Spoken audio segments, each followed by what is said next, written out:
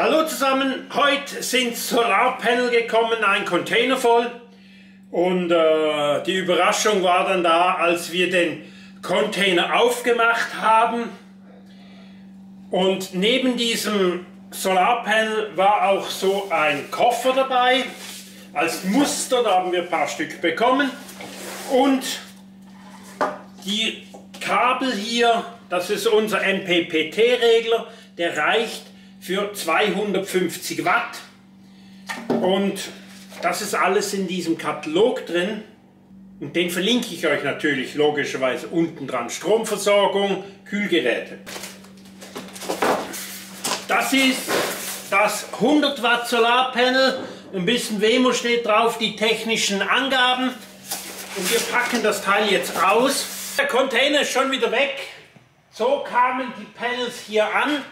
Aber das Schlimmste war, auf diesem Panel oben, bis unters Dach wirklich rammelvoll, waren die Panels lose gelagert oder eingeschoben und wir mussten die, ich sag mal, die Hälfte aller Panels von Hand rausbeigen, einzeln palettisieren. Ja, man sieht hier, unser Lager ist voll, hier stehen jetzt noch einzelne Panels. Hier hat es links Kühlboxen und der ganze Gang hier ist voll mit Panels. Wirklich alle lose. Hier auch lose. Und hier auch Paletten mit Solarpanel. Dann hier stehen Panels. Äh, ich glaube, der ganze Betrieb steht jetzt voll mit Solarpanels. Wir sehen hier, das ist das 100 Watt Solarpanel.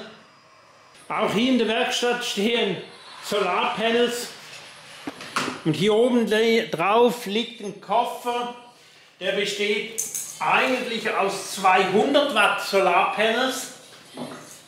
Äh, die Anschlüsse waren hier nicht so ideal und wir verlängern jetzt das hier mit einem 10 Meter Kabel und dann direkt einen MPPT-Regler vorne am Kabel und dann zwei Krokodilklemmen, aber das ist immer noch flexibel.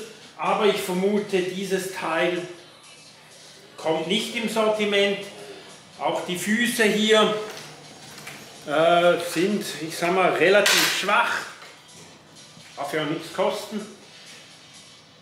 Wir schauen, ich mache ein Video separat über dieses Solarkoffer. Wir haben zwei Sorten Panels, das seht ihr auch im Katalog drin, den ich unten verlinkt habe. Äh, das ist das 100 Watt Panel.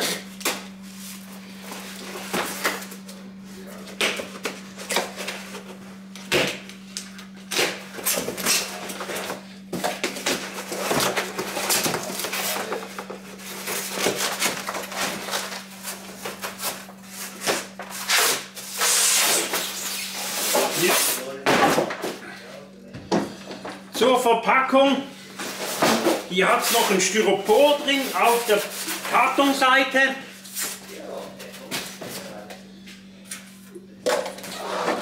Die Ecken hier, die haben so einen Kunststoff oben drauf. Ich denke, den kann man wegnehmen. Muss ja dann auch.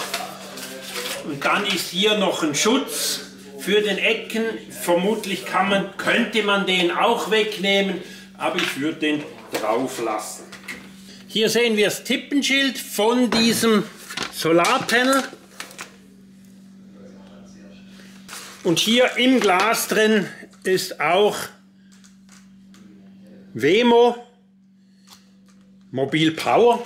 Ja, wisst ihr, ich kann nicht Englisch, ich kann auch mit den Chinesen nicht kommunizieren. Äh, Mandarin beherrsche ich auch nicht, obwohl das wahrscheinlich die nächste Weltsprache ist. Hier habe ich dann noch das 130 Watt Panel. Eben hier habe ich ein Stück Kabel dran. Hier habe ich jetzt 5 Meter Kabel und einen MPTT-Regler. Den muss ich hier äh, logischerweise einstecken. Hier auch anschließen, beide schwarz-rot.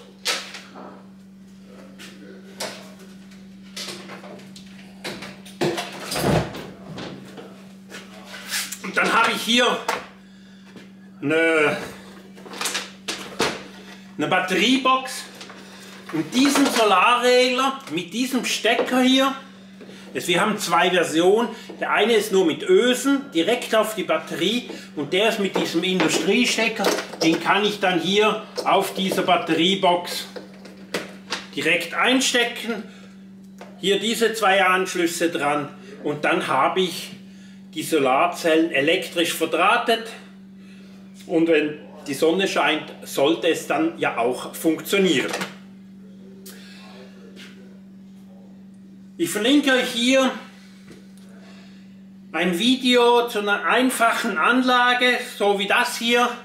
Und hier kommt über diesen Koffer oder eben die mobilen Einrichtungen ein Video.